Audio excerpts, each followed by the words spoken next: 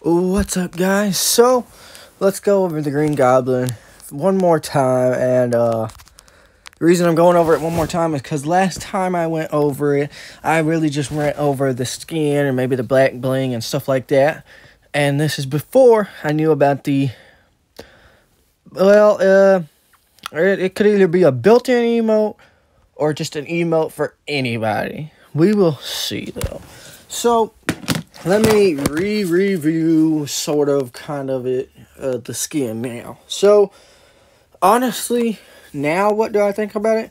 I think um if it wouldn't have came with the emo and stuff like that if it would have just been the skin and the pickaxe and the glider and back bling without the emo and the you know the wallpaper or the loading screen my bad loading screen I think I definitely would not get it. But since they showed that it's going to come with the emote and the wallpaper and stuff like that, um, really, I will mainly, if I do get this, I will mainly get it for the glider specifically if it works how it should, like with him being on top of it and gliding like that instead of like, you know, holding it over his head or whatever. If it does, I'll have to I'll have to see if somebody show uh, plays with the skin and the glider, and if it does like it's supposed to, where he stands on the glider while gliding, then I will definitely get it more than likely now,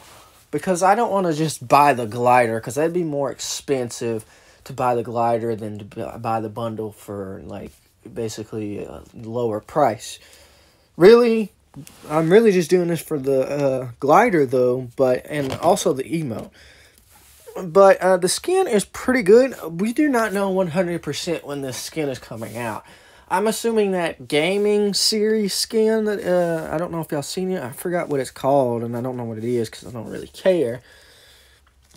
Uh, but um, I think that skin, that gaming series skin, will come out before this, and we still haven't seen the MJ, the red hair MJ skin, and we have not seen anything about. Uh, we haven't even seen any more Spider Mans because I'm pretty sure that we're supposed to be getting a Spider-Man skin, MJ, and Green Goblin all at the same time, which would probably make this be the Spider-Man item shop, which would which would also what would also be in the Spider-Man item shop is the Spider-Man from Homecoming and the Zendaya skin now, what else could there be? That's like uh, Zendaya, No Way Homes, uh, Green Goblin, MJ, and then one spot. That's five whole skins, but I'm sure it'll only be about three or four bundles, which makes the shop a little bit less. But um, honestly, uh, what we need is uh, it could also be like Tobey and Andrew, somebody uh, somebody I played with today.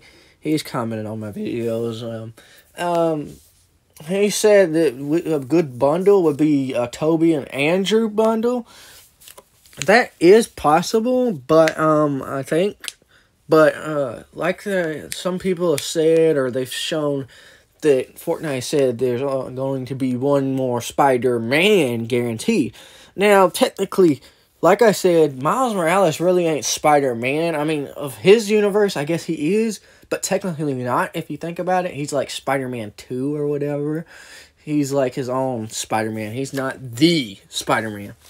Now, I wish they'd be more specific on what they mean by Spider Man skin, like the Spider Man skin, or like just a random Spider Man, whether it's uh, Peter Parker or not. Because Spider Man, in my eyes, is Peter Parker, not Miles Morales, not Gwen Stacy, not whoever else is Spider Man. So, honestly, if we don't get a Spider Man item shop, it, it, then it's.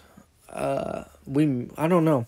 I think they're withholding the Spider-Man item shop. That's probably why they haven't put the Green Goblin out yet.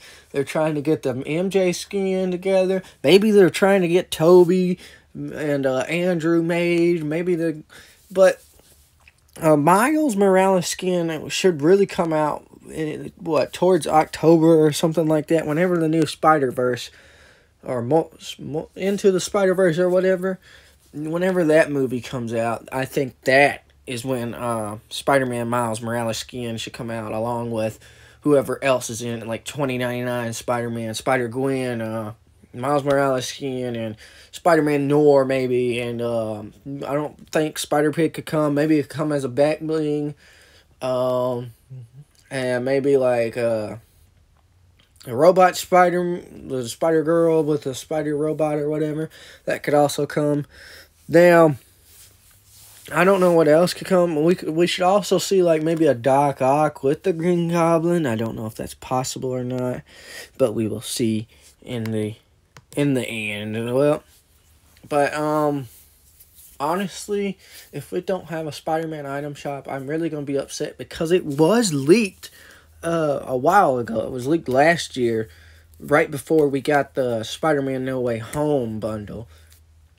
But um the reason Spider-Man No Way Home. I think honestly, the Spider-Man No Way Home bundle was supposed to come with like Green Goblin, and well, maybe not the whole bundle, but there was supposed to be more with it. But since it was Christmas and they want to do Chris uh, Winterfest stuff, they just had they just put it in there with that instead of putting it in like a Spider-Man item shop. I think the Spider-Man item shop was supposed to come during Christmas, but they had Winterfest going on.